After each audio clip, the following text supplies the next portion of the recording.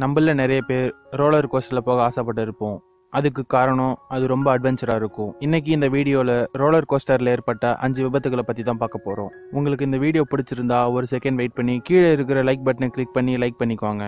ரொம்பவும் பிடிச்சிருந்தா சப்ஸ்கிரைப் பட்டனை கிளிக் பண்ணி கூட இருக்கிற பெல் பட்டனையும் கிளிக் பண்ணிக்கோங்க. இப்போ வாங்க வீடியோவை ஸ்டார்ட் பண்ணலாம்.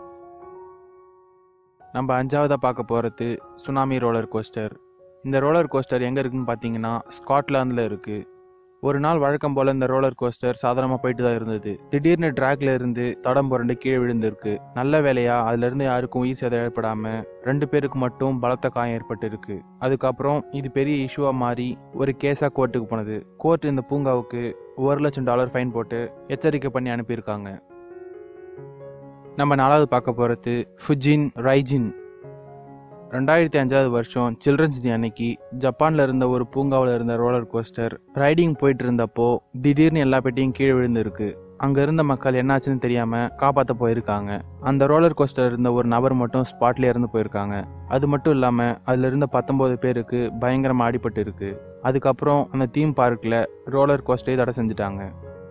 நம்ம மூணாவது பார்க்க போகிறது ஃப்ளையிங் டைனோசர் ரோலர் கோஸ்டரில் போகும்போது ரோலர் கோஸ்டர் தலைகீழாக போச்சுன்னா ரொம்பவும் பயமாக இருக்கும். ஒரு நாள் யூனிவர்சல் ஸ்டுடியோவில் இருந்த ரோலர் கோஸ்டர் சுமார் ரெண்டு மணி இருக்கிறப்போ ரோலர் கோஸ்டர் தலைகீழாக போயிட்டு இருந்துச்சு. திடீர்னு ஸ்டக் ஆகி தலைகீழாக நின்று போச்சு. அதுல இருந்த ஏழு பயனாளிகளும் தலைகீழாக சிக்கிட்டு இருந்தாங்க. உடனடியாக மீட்பு குழு அங்கே வந்து அவங்க காப்பாற்றிருக்காங்க மீட்பு குழு மட்டும் கொஞ்சம் தாமதமாக வந்திருந்தா அங்கே என்ன ஆகியிருக்குன்னு நினச்சி கூட பார்த்துருக்க முடியாது. ஹோக்வர்ட் தீம் பார்க் ரெண்டாயிரத்தி நாலாவது வருஷம் வில்லியம்னு சொல்கிற பதினாலு வயசு ஆகிற சிறுமி ஐரோப்பா வழியே வேகமாக போகிற ரோலர் கோஸ்டரில் போயிருக்காங்க. திடீர்னு ரோலர் கோஸ்டில் இருந்த அவங்க தூக்கி வீசப்பட்டு ட்ராக்ல மாட்டி பயங்கரமாக அடிப்பட்டு கீழே விழுந்திருக்காங்க. உடனடியாக அவங்க ஹெலிகாப்டரில் ஏற்றி ஹாஸ்பிட்டலுக்கு அழைச்சிட்டு போயிருக்காங்க. அங்கே இருந்த டாக்டர் அவங்களுக்கு ட்ரீட்மெண்ட் கொடுக்க செக் பண்ணியிருக்காங்க. அப்போ தான் தெரிஞ்சது அவங்க அரை மணி நேரத்துக்கு முன்னாடி செத்து போயிட்டாங்கன்னு. டிஸ்னி லேண்ட் டிஸ்னி லேண்ட் எங்கே இருக்குன்னு பார்த்தீங்கன்னா கலிஃபோர்னியாவில் இருக்குது நிறைய பேருக்கு லைஃப்பில் ஒரு டைம் ஆகுது அங்கே போன ஆசை இருக்கும். ஆனால் அந்த இடத்துல அந்த அளவுக்கு பாதுகாப்பு இருக்காதுன்னு பல பேருக்கு தெரியாது. ஒரு நாள் அங்கே இருந்த ஒரு குளத்துக்கு பக்கமாக ஒரு பதினாலு வயசு ஆகிற சிறுமி போயிருக்காங்க. அங்கே இருந்த ஒரு முதல்ல அவங்கள ரொம்பவும் மோசமாக கடிச்சு போட்டுருக்கு.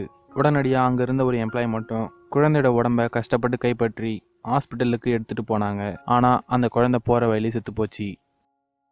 ஓகே ஃப்ரெண்ட்ஸ் இந்த அஞ்சு ரோலர் கோஸ்டரில் எது ரொம்பவும் மோசமான ரோலர் கோஸ்டராக இருந்ததுன்னு மறக்காமல் கமெண்ட் பண்ணுங்கள் தேங்க்யூ ஃப்ரெண்ட்ஸ்